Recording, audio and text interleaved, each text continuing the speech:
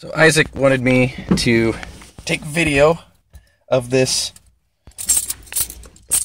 Speedy running in a piece of shit Miata. So, was, um,